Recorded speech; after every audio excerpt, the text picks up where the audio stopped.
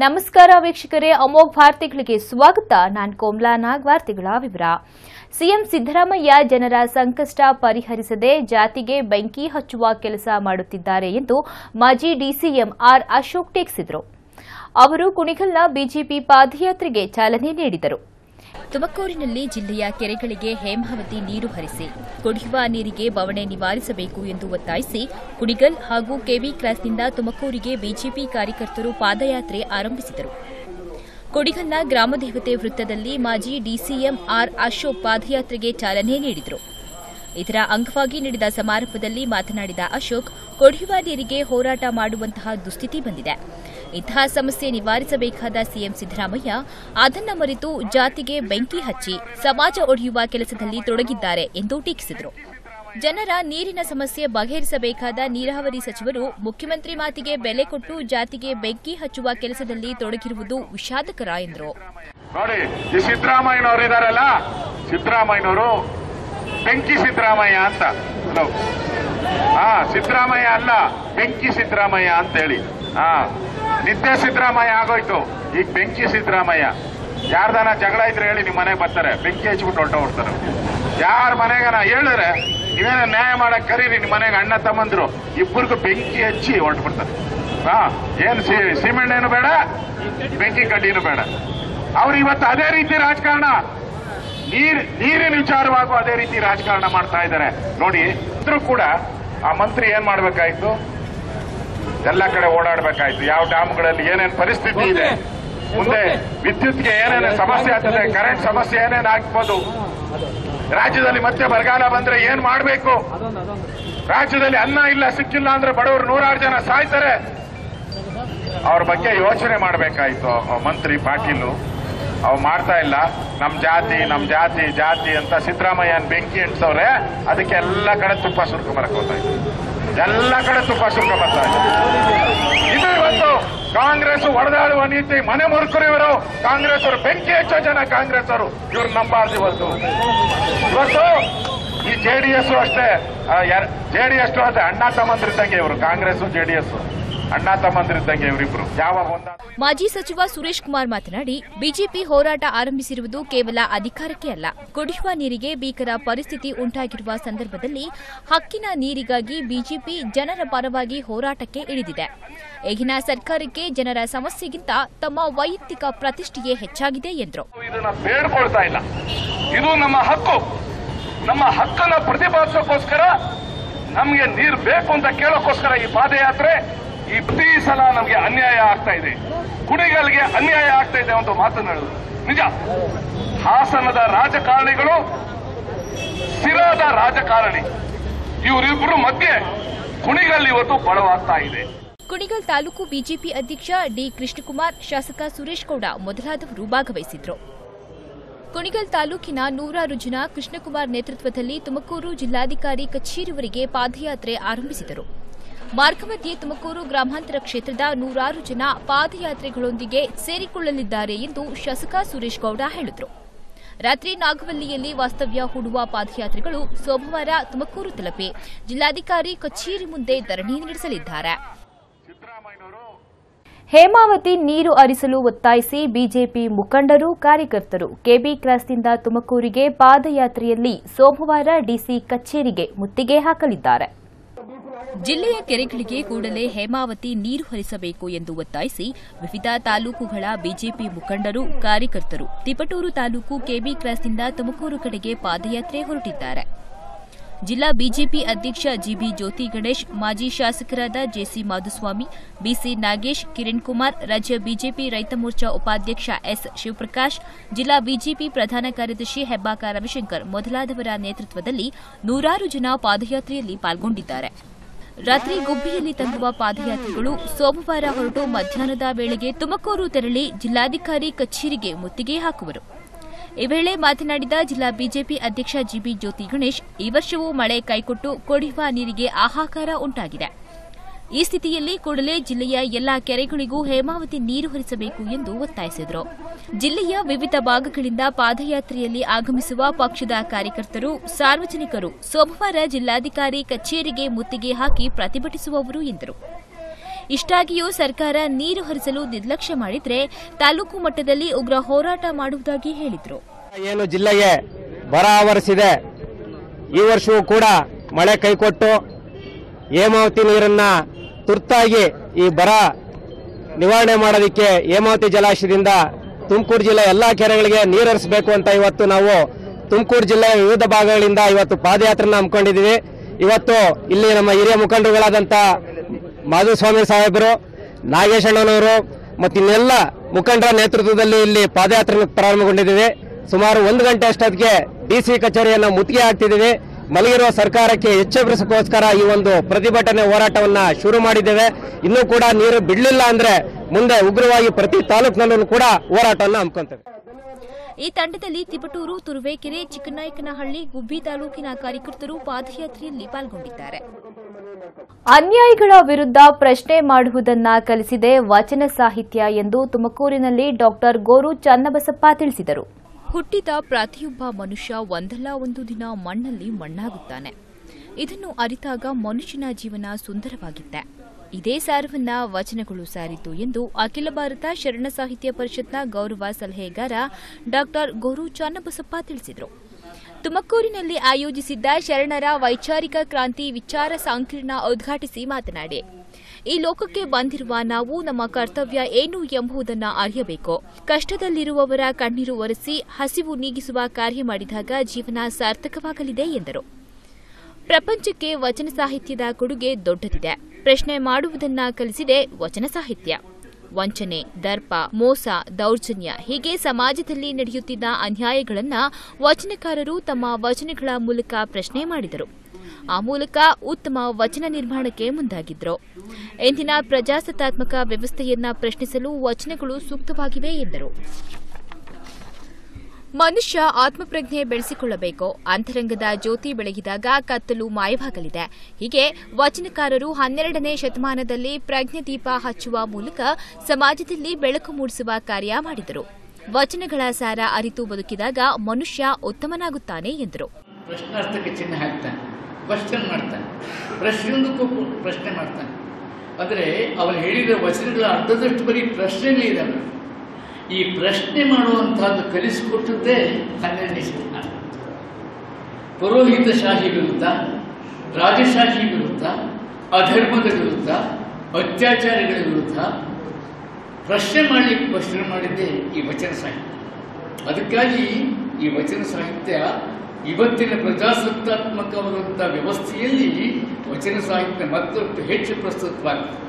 ನಾವು we have to question each and every step ಎಲ್ಲ ಹೆಜ್ಜೆ ಹೆಜ್ಜೆಯೂ ಕೂಡ ಪ್ರಶ್ನೆ ಮಾಡಬೇಕಾಗ್ತದೆ. ಅನ್ಯಾಯಕ್ಕೆ ಅವಕಾಶ ಕೊಡದೆ ಹೋಗಬೇಕಾಗ್ತದೆ. ಇದು ಬಹಳ ಮುಖ್ಯವಾದದ್ದು. ಇದನ್ನು ಇವತ್ತಿನ ವಚನದಲ್ಲಿ, ಇವತ್ತಿನ ಉಪನ್ಯಾಸದಲ್ಲಿ ನೀವು ತಿಳಿದುಕೊಳ್ತೇವೆ ಇನ್ನು, ಒಮ್ಮೆ ನಮ್ಮಲ್ಲಿ ಇದೆಲ್ಲ ಆಶಯ ಏನಂದ್ರೆ ಶರಣ ಸಾಹಿತ್ಯ ಪರಿಷತ್ತು ಈ ಕಾರ್ಯಕ್ರಮ ಮಾಡ್ತದೆ ಕನ್ನಡ ಸಾಹಿತ್ಯ ಪರಿಷತ್ತು ಮಾಡ್ತದೆ. ರೋಟರಿ ಲಯನ್ಸ್ ಕ್ಲಬ್ಗಳು ಮಾಡ್ತದೆ. ಬೇರೆ ಬೇರೆ ಸಂಘ ಸಂಸ್ಥೆಗಳು ಇದೇ ಕೆಲಸ ಮಾಡ್ತದೆ ಬಸವ ಬಳಗ ಇದೆ ಬಸವ ಟ್ರಸ್ಟ್ ಇದೆ. ಅನೇಕ ಇಂಥ ಸಂಸ್ಥೆಗಳು ಮಾಡ್ತಿರುವಂಥ ಕೆಲಸ ಏನಂದರೆ ಜನ ಸಮುದಾಯದಲ್ಲಿ ಒಂದು ಸೆಲ್ಫ್ ಕಾನ್ಷಿಯಸ್ನೆಸ್ ಆತ್ಮ ಪ್ರಜ್ಞೆಯನ್ನು ಬೆಳೆಸುವಂಥ. ಆತ್ಮಪ್ರಜ್ಞೆ ಒಂದು ಸಾರಿ ಬೆಳೆದು ಬಿಟ್ಟರೆ ಅದು ಒಳಗೆ, ಆತ್ಮಪ್ರಜ್ಞೆ ಅಂದ್ರೆ ಅಂತರಂಗದ ಜ್ಯೋತಿ, ದೀಪ. ಒಮ್ಮೆ ನಮ್ಮ ಒಳಗಡೆ ಆ ದೀಪ ಬೆಳಗಲಿಕ್ಕೆ ಶುರುವಾದರೆ ಕತ್ತಲು ಪ್ರವೇಶ ಆಗಲಿಕ್ಕೆ ಅವಕಾಶ. ಎಲ್ಲಿ ಬೆಳಕಿರ್ತದೆಯೋ ಅಲ್ಲಿ ಕತ್ತಲು ಹೋಗ್ಲಿಕ್ಕೆ ಸಾಧ್ಯ. ಕ ಅದನ್ನು ಕತ್ತಲನ್ನ ನೀವು ಕೈ ಹಿಡಿದು ತೆಳಲಿಕ್ಕಾಗುದಿಲ್ಲ ಸುಮ್ಮನೆ ಒಂದು ದೀಪ ಹಚ್ಚಿದ್ರೆ ಸಾಕು ಆಟೋಮೆಟಿಕ್ ಆಗಿ ಹೋಗ್ಬಿಡುತ್ತೆ ಸಾಕಾಗಿ ಹೋಗ್ಬಿಡ್ತದೆ ಹಾಗೆ ನಮ್ಮ ಅಂತರಂಗದ ಕತ್ತಲೆಯನ್ನು ಕಡಿಬೇಕಾದ್ರೆ ಪ್ರಜ್ಞೆಯ ದೀಪವನ್ನು ನಾವು ಹಚ್ಚಬೇಕಾಗುತ್ತೆ ಈ ಪ್ರಜ್ಞಾ ದೀಪವನ್ನು ಹಚ್ಚುವ ಕೆಲಸನ ಈ ಸಾಹಿತ್ಯ, ಸಂಸ್ಕೃತಿ, ಸಂಸ್ಥೆಗಳು ಮಾಡ್ತಾ ಇದ್ದಾವೆ. ಅದಕ್ಕಾಗಿ ನಾನು ಎಷ್ಟೋ ಈಗಲೂ ಮತ್ತೆ ಮತ್ತೆ ಹೇಳ್ತೇನೆ, ಇಂಥ ಕಾರ್ಯಕ್ರಮ ನಡೆಯಲಿಕ್ಕೆ ವೀರಶೈವ ಗುರುಕುಲ ವಿದ್ಯಾರ್ಥಿ ನಿಲಯದ ಅಧ್ಯಕ್ಷ ಜಿಎನ್ ಬಸವರಾಜಪ್ಪ, ಅಖಿಲ ಭಾರತ ಶರಣ ಸಾಹಿತ್ಯ ಪರಿಷತ್ ಅಧ್ಯಕ್ಷ ಡಾಕ್ಟರ್ ಬಸವರಾಜ್ ಸಾಧರ, ಜಗಜ್ಯೋತಿ ಬಸವೇಶ್ವರ ಟ್ರಸ್ಟ್ ಅಧ್ಯಕ್ಷ ಎಂ ಬಸವಯ್ಯ, ಜಿಲ್ಲಾ ಶರಣ ಸಾಹಿತ್ಯ ಪರಿಷತ್ನ ಅಧ್ಯಕ್ಷ ಎಂಜಿ ಸಿದ್ದರಾಮಯ್ಯ ಇತರರು ಉಪಸ್ಥಿತರಿದ್ದರು. ತುಮಕೂರಿನ ಸಿದ್ದಗಂಗಾ ಪದವಿ ಪೂರ್ವ ಕಾಲೇಜಿನಲ್ಲಿ ಪ್ರತಿಭಾ ಕಾರಂಜಿ ಕಾರ್ಯಕ್ರಮ ನಡೆಯಿತು. ಪ್ರತಿಭಾವಂತ ವಿದ್ಯಾರ್ಥಿಗಳಿಗೆ ಪುರಸ್ಕಾರ ನೀಡಲಾಯಿತು. ವಿದ್ಯಾರ್ಥಿಗಳು ಕೇವಲ ಪಠ್ಯ ಚಟುವಟಿಕೆಗಳಿಗೆ ಅಂಟಿಕೊಳ್ಳದೆ ಪಠ್ಯೇತರ ಚಟುವಟಿಕೆಯಲ್ಲಿ ಭಾಗವಹಿಸಿದಾಗ ಹೆಚ್ಚಿನ ಸಾಧನೆ ಮಾಡಲು ಸಾಧ್ಯ ಎಂದು ಹರಿಕತಾ ವಿದ್ವಾಂಸ ಡಾಕ್ಟರ್ ಲಕ್ಷ್ಮಣ್ ದಾಸ್ ತಿಳಿಸಿದರು.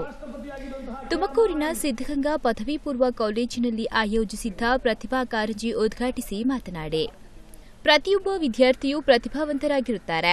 ಅವರಲ್ಲಿನ ಪ್ರತಿಭೆ ಪ್ರದರ್ಶನಕ್ಕೆ ಪ್ರತಿಭಾ ಕಾರಂಜಿಯಂತಹ ಕಾರ್ಯಕ್ರಮಗಳು ಸಹಕಾರಿಯಾಗಲಿವೆ ಎಂದರು. ವಿದ್ಯಾರ್ಥಿಗಳು ಓದಿನ ಜೊತೆ ಕ್ರೀಡೆ, ಸಾಹಿತ್ಯ, ಸಂಗೀತ ಕ್ಷೇತ್ರದಲ್ಲಿ ಆಸಕ್ತಿ ಬೆಳೆಸಿಕೊಂಡಾಗ ಎತ್ತರಕ್ಕೆ ಬೆಳೆಯಲು ಸಾಧ್ಯವಾಗುತ್ತದೆ. ಜೊತೆಗೆ ವಿವೇಕಾನಂದ, ಅಂಬೇಡ್ಕರ್ ಅಂತಹ ಮಹಾನ್ ವ್ಯಕ್ತಿಗಳ ಮೌಲ್ಯ ಅಳವಡಿಸಿಕೊಂಡಾಗ ಜೀವನ ಸಾರ್ಥಕವಾಗಲಿದೆ ಎಂದರು. ಕಥೆ ಹೇಳ್ತಾಳೆ, ಹಾಲು ಕುಡಿ ಅಂತಾಳೆ ಬಿಸಿಲು ಅಂತಾಳೆ ಊಟ ಮಾಡು ಅಂತಾಳೆ, ಮಲಕು ಅಂತಾಳೆ. ಮಲಕೊಳ್ಳೋದೇ ಇಲ್ಲ ಸರ್ ನಾವು. ನಿಮ್ ಕ್ಲಾಸಿಗೆ ಒಂದು ಕೂತ್ಕೊಂಡ್ಬಿಟ್ರೆ ಸಾಕು ಸರ್ ಮಲ್ಕೊಂಡು ಹಂಗಾಗ್ಬಾರ್ದು. ಓದ್ಬೇಕು ಚೆನ್ನಾಗಿ ಬಹಳ ಗೌರವ ಕೊಡೋದನ್ನು ಕಲಿಬೇಕು.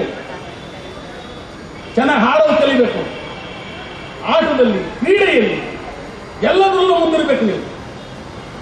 ಇದಕ್ಕೆ ಯಾಕೆ ಮಾತಾಡ್ತೀನಿ ಅಂದ್ರೆ ನಾವು ನೀವೆಲ್ಲರೂ ಕೂಡ, ಆ, ನಾವು ಕಲಿತಂತ ಗುರುಗಳಿದೆಯಲ್ಲ ಶಾಲೆಗಿದೆಯಲ್ಲ ಅಂತ ಬಹುದೊಡ್ಡ ಗೌರವ ಅನ್ಕೊಳ್ಬೇಕು ಅದೇ ನಮ್ಮನ್ನು ತಾಪನ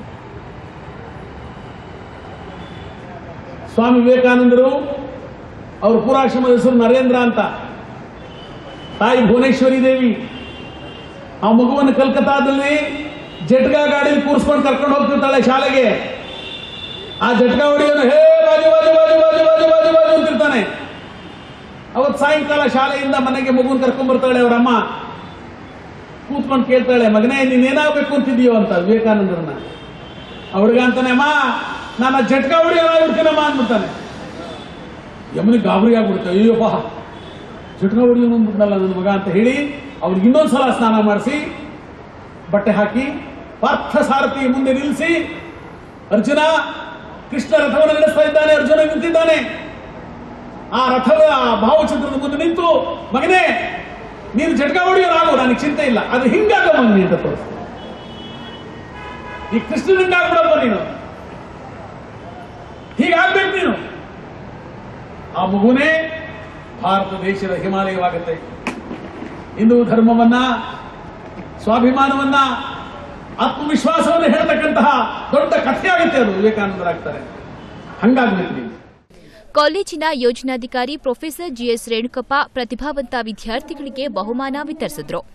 ಪ್ರಾಚಾರ್ಯರಾದ doctor R Anandakumari doctor Dattu Prakash ಇತರರು ಉಪಸ್ಥಿತರಿದ್ದರು. ಹೇಮಾವತಿ ನೀರಿಗೆ ಆಗ್ರಹಿಸಿ ಮಾಜಿ ಸಚಿವ ಸೊಗಡು ಶಿವಣ್ಣ ಸೋಮವಾರ ಡಿಸಿ ಕಚೇರಿ ಮುಂದೆ ಉಪವಾಸ ಸತ್ಯಾಗ್ರಹ ಆರಂಭಿಸಲಿದ್ದಾರೆ. ವಿವಿಧ ಸಂಘಟನೆಗಳು ಇವರ ಹೋರಾಟಕ್ಕೆ ಬೆಂಬಲ ವ್ಯಕ್ತಪಡಿಸಿದ್ದಾರೆ. ತುಮಕೂರು ಜಿಲ್ಲೆಗೆ ಕೆರೆಗಳಿಗೆ ಕೂಡಲೇ ಹೇಮಾವತಿ ನೀರು ಹರಿಸಬೇಕು. ಕುಡಿಯುವ ನೀರಿನ ಅಭಾವ ನಿವಾರಿಸಬೇಕು ಎಂದು ಸರ್ಕಾರವನ್ನ ಒತ್ತಾಯಿಸಿ ಇದೇ ಸೋಮವಾರ ಮಾಜಿ ಸಚಿವ ಸೊಗಡು ಶಿವಣ್ಣ ತುಮಕೂರಿನ ಜಿಲ್ಲಾಧಿಕಾರಿ ಕಚೇರಿ ಮುಂದೆ ಅನಿರ್ದಿಷ್ಟಾವಧಿ ಉಪವಾಸ ಸತ್ಯಾಗ್ರಹ ಆರಂಭಿಸುತ್ತಿದ್ದಾರೆ. ಹೇಮಾವತಿ ಜಲಾಶಯದಲ್ಲಿ ಹರಿಸಬಹುದಾದ ಪ್ರಮಾಣದ ನೀರು ಸಂಗ್ರಹವಾಗಿದ್ದರೂ ಸರ್ಕಾರ, ಜಿಲ್ಲಾಡಳಿತ, ಜಿಲ್ಲೆಯ ಕೆರೆಗಳಿಗೆ ನೀರು ತುಂಬಿಸಲು ಮೀನಾವೇಶ ಎಣಿಸುತ್ತಿದೆ. ನೀರು ಹರಿಸಿ ಎಂದು ಒತ್ತಾಯಿಸಿ ಹಲವು ಬಾರಿ ಗಡಿವು ನೀಡಿದ್ರೂ ಸರ್ಕಾರ ಕ್ರಮ ತೆಗೆದುಕೊಂಡಿಲ್ಲ. ಹೀಗಾಗಿ ನೀರಿಗಾಗಿ ಹೋರಾಟ ಅನಿವಾರ್ಯವಾಗಿದೆ ಎಂದು ಸೊಗಡು ಶಿವಣ್ಣ ಹೇಳಿದ್ದಾರೆ. ಸೋಮವಾರ ಬೆಳಗ್ಗೆ ಹನ್ನೊಂದು ಗಂಟೆಯಿಂದ ಉಪವಾಸ ಸತ್ಯಾಗ್ರಹ ಆರಂಭಿಸಲಿರುವ ಸೊಗಡು ಶಿವಣ್ಣ ಅವರ ಹೋರಾಟವನ್ನು ಸಾರ್ವಜನಿಕರು ವಿವಿಧ ಸಂಘಟನೆಗಳು ಬೆಂಬಲಿಸಲಿವೆ. ಕೆಲ ಸಂಘಟನೆ ಮುಖಂಡರು ಸೊಗಡು ಶಿವಣ್ಣ ಅವರೊಂದಿಗೆ ಸತ್ಯಾಗ್ರಹದಲ್ಲಿ ಭಾಗವಹಿಸುವುದಾಗಿ ಹೇಳಿದ್ದಾರೆ. ಕಳೆದ ವರ್ಷ ಅಗತ್ಯ ಪ್ರಮಾಣದ ಹೇಮಾವತಿ ನೀರನ್ನ ಕೆರೆಗೆ ಹರಿಸುವಲ್ಲಿ ಸರ್ಕಾರ ಜಿಲ್ಲಾಡಳಿತ ನಿರ್ಲಕ್ಷ್ಯ ಮಾಡಿದ ಪರಿಣಾಮ ಕುಡಿಯುವ ನೀರಿಗೆ ತೀವ್ರ ಸಂಕಷ್ಟ ಎದುರಾಗಿತ್ತು. ಈ ಬಾರಿಯೂ ಉದಾಸೀನ ಮಾಡಿದರೆ ಭೀಕರ ಪರಿಸ್ಥಿತಿ ಉಂಟಾಗುತ್ತದೆ ಎನ್ನುವ ಕಾರಣಕ್ಕೆ ತಕ್ಷಣ ಹೇಮಾವತಿ ನೀರು ಹರಿಸಬೇಕು ಎಂದು ಸರ್ಕಾರವನ್ನ ಒತ್ತಾಯಿಸಿದ್ದಾರೆ. ನಮ್ಮ ಹಕ್ಕಿನ ನೀರು ಪಡೆಯಲು ತಾವು ನಡೆಸುವ ಹೋರಾಟದಲ್ಲಿ ಸಾರ್ವಜನಿಕರು, ಸಂಘ ಸಂಸ್ಥೆಗಳು ಕೈಜೋಡಿಸಿ ಹೋರಾಟದಲ್ಲಿ ಭಾಗವಹಿಸಬೇಕು ಎಂದು ಸೊಗಡು ಶಿವಣ್ಣ ಮನವಿ ಮಾಡಿದ್ದಾರೆ. ಹೇಮಾವತಿ ಜಲಾಶಯದಲ್ಲಿ ಸುಮಾರು ಹದಿನಾಲ್ಕು ಟಿಎಂಸಿ ನೀರು ಸಂಗ್ರಹವಾಗಿದೆ. ಜಲಾಶಯಕ್ಕೆ ಉತ್ತಮ ನೀರಿನ ಹರಿವು ಇದೆ. ಈ ಸ್ಥಿತಿಯಲ್ಲಿ ತುಮಕೂರು ಜಿಲ್ಲೆ ಕೆರೆಗಳಿಗೆ ನೀರು ಹರಿಸಬಹುದಾಗಿದ್ದರೂ ಸರ್ಕಾರ ಕಾಳಜಿ ವಹಿಸುತ್ತಿಲ್ಲ ಎಂದು ಹೇಳಿದ್ದಾರೆ.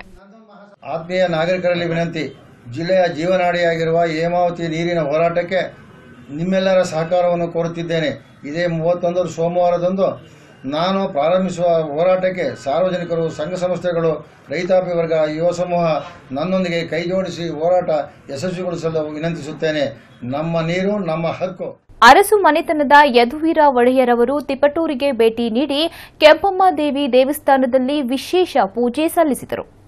ಮೈಸೂರು ಅರಸು ಮನೆತನದ ಯದುವೀರ ಒಡೆಯರು ತಿಪಟೂರಿಗೆ ಆಗಮಿಸಿದ್ದರು. ಇಲ್ಲಿನ ಖಾಸಗಿ ಕಾರ್ಯಕ್ರಮವೊಂದರಲ್ಲಿ ಭಾಗವಹಿಸಲು ಒಡೆಯರ್ ಬಂದಿದ್ದರು. ಈ ವೇಳೆ ತಿಪಟೂರು ಗ್ರಾಮದೇವತೆ ಕೆಂಪಮ್ಮಾದೇವಿ ದೇವಸ್ಥಾನಕ್ಕೆ ಭೇಟಿ ನೀಡಿ ವಿಶೇಷ ಪೂಜೆ ಸಲ್ಲಿಸಿದರು. ಅರಸು ಮನೆತನದ ಯುವರಾಜರನ್ನ ದೇವಸ್ಥಾನದ ಸಮಿತಿಯಿಂದ ಪೂರ್ಣ ಕುಂಭದೊಂದಿಗೆ ಸ್ವಾಗತಿಸಿ ಬರಮಾಡಿಕೊಳ್ಳಲಾಯಿತು. ಅವರನ್ನ ಸನ್ಮಾನಿಸಿ ಗೌರವಿಸಲಾಯಿತು. ಶೈಕ್ಷಣಿಕ ಕ್ಷೇತ್ರದಲ್ಲಿ ಸೇವೆ ಸಲ್ಲಿಸಲು ಸಾಧ್ಯ ಆಗದ್ದಕ್ಕೆ ಕುಪ್ಪೂರು ಮಠದ ಡಾಕ್ಟರ್ ಯತೀಶ್ವರ ಶಿವಾಚಾರ್ಯರು ವಿಷಾದ ವ್ಯಕ್ತಪಡಿಸಿದರು. ಧಾರ್ಮಿಕ ಹಾಗೂ ಸಾಮಾಜಿಕ ಕ್ಷೇತ್ರದಲ್ಲಿ ಸಲ್ಲಿಸುತ್ತಿರುವ ಸೇವೆಯಂತೆ ಶೈಕ್ಷಣಿಕ ಕ್ಷೇತ್ರದಲ್ಲಿ ಸಲ್ಲಿಸಲಾಗದಿರುವ ನೋವು ನಮ್ಮನ್ನ ಕಾಡುತ್ತಿದೆ ಎಂದು ಕುಪ್ಪೂರು ಮಠದ ಡಾಕ್ಟರ್ ಯತೀಶ್ವರ ಶಿವಾಚಾರ್ಯ ಸ್ವಾಮೀಜಿ ಅವರು ತಮ್ಮ ಮನದಾಳದ ನೋವನ್ನ ಬಿಚ್ಚಿಟ್ಟರು. ಹುಳಿಯಾರು ಸಮೀಪದ ದೊಡ್ಡಣ್ಣಗೆರೆಯ ಜ್ಞಾನಭಾರತಿ ವಿದ್ಯಾಸಂಸ್ಥೆಯಿಂದ ಏರ್ಪಡಿಸಿದ್ದ ತಮ್ಮ ನಲವತ್ಮೂರನೇ ಹುಟ್ಟುಹಬ್ಬದ ಆಚರಣೆಯಲ್ಲಿ ಭಾಗವಹಿಸಿದ್ರು. ಕುಪ್ಪೂರು ಮಠದಿಂದ ಸಾಮಾಜಿಕ ಮತ್ತು ಧಾರ್ಮಿಕ ಸಮಾಜಮುಖಿ ಕಾರ್ಯಗಳು ನಿರಂತರವಾಗಿ ನಡೆಯುತ್ತಿದ್ದು ಜನಮಾಸನದಲ್ಲಿ ಮಠ ನೆಲೆಯೂರುವಂತೆ ಮಾಡಿದೆ. ಆದರೆ ತಾವು ಆರಂಭಿಸಿದ ಶಾಲೆಯಲ್ಲಿ ಇಬ್ಬರು ವಿದ್ಯಾರ್ಥಿಗಳು ಸಾವನ್ನಪ್ಪಿದ ಘಟನೆಯಿಂದ ನೊಂದು ಶಾಲೆ ಮುಚ್ಚಿ ಶೈಕ್ಷಣಿಕ ಸೇವೆಯಿಂದ ವಿಮುಖನಾಗಿದ್ದೇನೆ. ಇದು ಸದಾ ನನ್ನ ಕಾಡುವ ವಿಚಾರವಾಗಿದ್ದು, ಶಾಲೆಗಳನ್ನು ನಡೆಸುವುದು ಕಷ್ಟದ ಕೆಲಸವಾಗಿದ್ದು, ಕೆಲ ಸಣ್ಣಪುಟ್ಟ ಘಟನೆಗಳು ನಡೆಯುವುದು ಸಹಜ. ಹಾಗಂತ ಸತ್ಯ ಅಸತ್ಯತೆ ಅರಿಯದೆ ಆಡಳಿತ ಮಂಡಳಿಯ ತಲೆಗೆ ಕಟ್ಟುವುದು ಸರಿಯಲ್ಲ.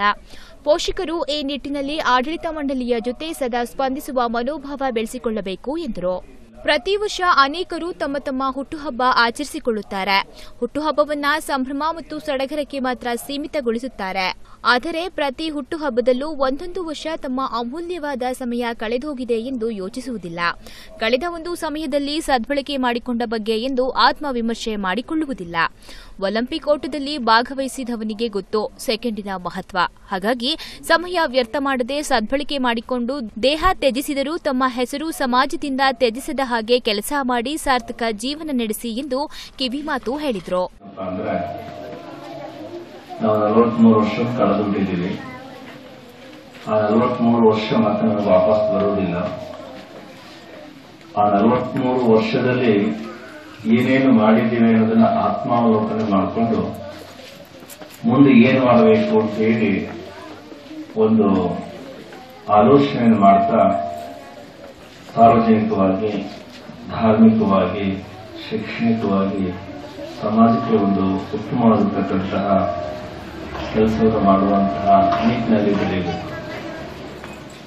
ಈ ಸಂದರ್ಭದಲ್ಲಿ ಕುಪ್ಪೂರು ಶ್ರೀಗಳು ತಮ್ಮ ಭಾವಚಿತ್ರವಿರುವ ಸ್ಟಾಂಪ್ ಬಿಡುಗಡೆ ಮಾಡಿದ್ರು. ಮಕ್ಕಳಿಂದ ಸಾಂಸ್ಕೃತಿಕ ಚಟುವಟಿಕೆಗಳು ನಡೆದವು.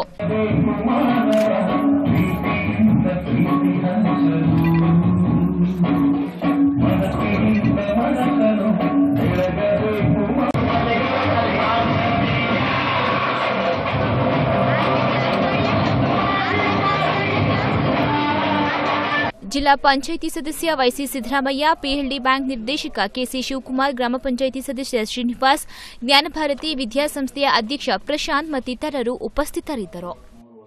ಅಪರಾಧ ಪ್ರಕರಣವನ್ನ ತಡೆಯಲು ಸಾರ್ವಜನಿಕರು ಪೊಲೀಸರಿಗೆ ಸಹಕಾರ ನೀಡಬೇಕು ಎಂದು ತಿಪಟೂರಿನಲ್ಲಿ ಡಿವೈಎಸ್ಪಿ ವೇಣುಗೋಪಾಲ್ ಮನವಿ ಮಾಡಿದರು. ತಿಪಟೂರಿನಲ್ಲಿ ಪೊಲೀಸ್ ಇಲಾಖೆಯಿಂದ ಸುಧಾರಿತ ಗಸ್ತು ಸದಸ್ಯರು ಹಾಗೂ ಗಸ್ತು ಅಧಿಕಾರಿಗಳ ಸಭೆ ನಡೆಯಿತು. ಕಲ್ಪತರು ಕಾಲೇಜು ಸಭಾಂಗಣದಲ್ಲಿ ನಡೆದ ಸಮಾರಂಭವನ್ನು ಡಿವೈಎಸ್ಪಿ ವೇಣುಗೋಪಾಲ್ ಉದ್ಘಾಟಿಸಿದರು. ಅಪರಾಧ ಪ್ರಕರಣ ಕಡಿಮೆಯಾಗಲು ಸಾರ್ವಜನಿಕರ ಸಹಕಾರ ಸಹಭಾಗಿತ್ವ ಅವಶ್ಯಕವಾಗಿದೆ. ಸಾರ್ವಜನಿಕರು ಅಂತಹ ಪ್ರಕರಣಗಳು ಗಮನಕ್ಕೆ ಬಂದಾಗ ಪೊಲೀಸರ ಗಮನಕ್ಕೆ ತರಬೇಕೆಂದು ಡಿವೈಎಸ್ಪಿ ವೇಣುಗೋಪಾಲ್ ಹೇಳಿದರು. ಪೊಲೀಸ್ ಇಲಾಖೆಯಲ್ಲೂ ಗಸ್ತು ನಿಯಮ ಜಾರಿಗೆ ತರಲಾಗಿದೆ. ಹೊಸ ಅಪರಾಧ ಪ್ರಕರಣಗಳು ಬೆಳಕಿಗೆ ಬರುತ್ತಿರುವ ಈ ಸಂದರ್ಭದಲ್ಲಿ ಸಿಬ್ಬಂದಿ ಅತ್ಯಂತ ಚುರುಕಿನಿಂದ ಸಕ್ರಿಯವಾಗಿ ಕಾರ್ಯನಿರ್ವಹಿಸಬೇಕು ಎಂದರು. ಜನಸಂಖ್ಯೆ ಹೆಚ್ಚಳಕ್ಕೆ ತಕ್ಕಂತೆ ಪೊಲೀಸ್ ಇಲಾಖೆ ಸಿಬ್ಬಂದಿ ಹೆಚ್ಚಳ ಆಗಿಲ್ಲ. ಹೀಗಾಗಿ ಪೊಲೀಸರಿಗೆ ಕೆಲಸದ ಒತ್ತಡ ಹೆಚ್ಚಾಗಿದೆ. ಈ ನಿಟ್ಟಿನಲ್ಲಿ ಸಾರ್ವಜನಿಕರು ಸಹಕಾರ ನೀಡಿದರೆ ಅಪರಾಧ ಪ್ರಕರಣ ತಡೆಯಬಹುದು ಎಂದು ಡಿವೈಎಸ್ಪಿ ವೇಣುಗೋಪಾಲ್ ಹೇಳಿದರು. ಸಭೆಯಲ್ಲಿದ್ದ ಸಾರ್ವಜನಿಕರು ಅಬಕಾರಿ ಇಲಾಖೆ ಅಧಿಕಾರಿಗಳ ಕಾರ್ಯವೈಖರಿಗೆ ಆಕ್ರೋಶ ವ್ಯಕ್ತಪಡಿಸಿದರು. ಕುಪ್ಪಳು, ಶೆಟ್ಟಿಹಳ್ಳಿ, ಕರದಾಳು ಸಂತೆ ಮೈದಾನದಲ್ಲಿ ವ್ಯಾಪಕವಾಗಿ ಅಕ್ರಮವಾಗಿ ಮದ್ಯ ಮಾರಾಟ ಮಾಡುತ್ತಿದ್ದರೂ ಅಧಿಕಾರಿಗಳು ತಡೆಯುತ್ತಿಲ್ಲ ಎಂದು ದೂರಿದರು. ಸಾವಿರದ ಒಂಬೈನೂರ ಎಪ್ಪತ್ಮೂರನೇ ಇಸವಿ ಗಿಂತ ಮೊದಲು ಒಬ್ಬ ಪೊಲೀಸ್ ಸಿಬ್ಬಂದಿ, ಒಬ್ಬ ಪೊಲೀಸ್ ಕಾನ್ಸ್ಟೇಬಲ್ ಒಂದು ಹಳ್ಳಿಗೆ ಹೋಗ್ಬೇಕಾದ್ರೆ ಬಹುಶಃ ನೋಡಿರ್ತೀರ ಚೀಟಿ? ಅಂದ್ರೆ ನಿಖರ ವ್ಯವಸ್ಥೆ ಇದ್ದಾಗ ಎಪ್ಪತ್ಮೂರರ ಇಸುವಿಯಲ್ಲಿ ಅದನ್ನ ನಿರ್ಬಂಧಿಸಿ, ಅಥವಾ ಅದನ್ನ ಬದಲಾವಣೆ ಮಾಡಿ ಸರ್ಕಲ್ ಇನ್ಸ್ಪೆಕ್ಟರ್ ಕೃಷ್ಣರಾಜು, ಸಬ್ ಇನ್ಸ್ಪೆಕ್ಟರ್ಗಳಾದ ಕೃಷ್ಣಕುಮಾರ್, ಮಧುಸೂದನ್ ಮತ್ತಿತರರು ಭಾಗವಹಿಸಿದ್ರು. ನೆಲಮಂಗಲ ತಾಲೂಕು ವಿಣ್ಣಾಪುರದಲ್ಲಿ ಮಾರಮ್ಮ ದೇವಿ ಉತ್ಸವ ಅದ್ದೂರಿಯಾಗಿ ನೆರವೇರಿತು.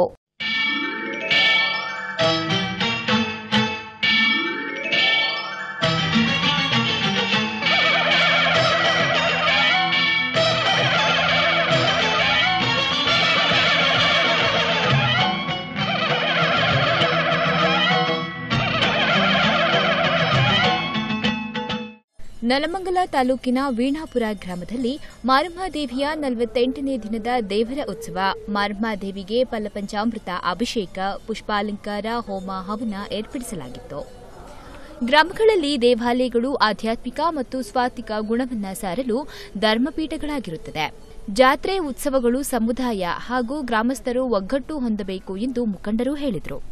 ನಂತರ ಊರಿನ ಮುಖಂಡ ಕಾಂತರಾಜು ಮಾತನಾಡಿ ಮಾರಮ್ಮ ದೇವಿಯ ದೇವಸ್ಥಾನವು ಮುಂಚೆ ಶಿಥಿಲಗೊಂಡಿತ್ತು. ಊರಿನ ಭಕ್ತರೆಲ್ಲರೂ ಹಾಗೂ ದಾನಿಗಳೆಲ್ಲರೂ ಸೇರಿ ನೂತನ ದೇವಾಲಯವನ್ನ ಸ್ಥಾಪಿಸಿದ್ದೇವೆ. ಪುರಾತನ ಕಾಲದಿಂದಲೂ ಪೂರ್ವಜರು ನಡೆದು ಬಂದ ಹಾದಿಯಲ್ಲಿ ಧರ್ಮಾಚರಣೆಗಳು ಒಂದು ಭಾಗವಾಗಿರುತ್ತದೆ. ಇಂದಿನ ಯುವ ಪೀಳಿಗೆಗೆ ಪುರಾತನ ಕಾಲದ ಸಂಸ್ಕೃತಿ ಅನಾವರಣಕ್ಕೆ ಇಂತಹ ಊರು ಜಾತ್ರೆ, ಉತ್ಸವಗಳು ಸಹಕಾರಿ. ಇದೀಗ ಇದೇ ದೇವರಿಗೆ ನಲವತ್ತೆಂಟನೇ ದಿನದ ಉತ್ಸವವನ್ನು ವಿಜೃಂಭಣೆಯಿಂದ ಕೈಗೊಳ್ಳುತ್ತಿದ್ದೇವೆ, ಎಂದರು. ಒಂದು ಒಗ್ಗಟ್ಟು ನಡಿಬೇಕಂದ್ರೆ ಇಂತಹ ಒಂದು ಉತ್ಸವಗಳು ನಡೀಲೇ ನಡಿಬೇಕಾಗುತ್ತೆ. ಸೊ ಅದೇ ರೀತಿ ನಾವು ಪ್ರತಿಷ್ಠಾಪನೆ ಆದ ನಂತರ ನಿನ್ನೆ ಇಪ್ಪತ್ತೆರಡನೇ ತಾರೀಕು ನಾವು ಒಂದು ಮರಮ್ಮ ದೇವಿಯ ನಾವು ಒಂದು ಉತ್ಸವವನ್ನು ಉತ್ತಮ ವಿಜೃಂಭಣೆಯಿಂದ ಊರಿನ ಗ್ರಾಮದಲ್ಲಿ ಎಲ್ಲ ಕಡೆಯೂ ಎಲ್ಲ ಮನೆ ಮನೆಗೂ ಹೋಗಿ ದೇವಸ್ಥಾನ ಪೂಜೆ ಮುಗಿಸ್ಕೊಂಡು ಬಂದಿದೆ. ಅದೇ ರೀತಿ ವಿಜೃಂಭಣೆಯಿಂದ ಕಾರ್ಯಕ್ರಮ ನೆರವೇರ, ನೆರವೇರಿದೆ. ಓಕೆ ಸರ್ ಯಾವ ರೀತಿ ಒಗ್ಗಟ್ಟನ್ನ ಸಾಧಿಸಿದ್ದೀರಾ ನಿಮ್ಮ ಗ್ರಾಮಸ್ಥರಲ್ಲಿ ಈಗ ಅದು ಒಂದು ದೇವತೆ ಕಾರ್ಯ ಅಂದಮೇಲೆ ಪ್ರತಿಯೊಬ್ಬರು ಯಾವ ಮೈಮನುಷ್ಯ ಬರೋದಿಲ್ಲ. ಪ್ರತಿಯೊಂದು ಮನೆಯಲ್ಲೂ ಪ್ರತಿಯೊಂದು ಎಲ್ಲ ಭಕ್ತಾದಿಗಳು ಒಂದು ಒಗ್ಗಟ್ಟು ಸೇರೋದ್ರಿಂದ ಪ್ರತಿಯೊಂದು ಕೆಲಸನೂ ಸುಲಲಿತವಾಗಿ ನೆರವೇರ್ತಾ ಇದೆ.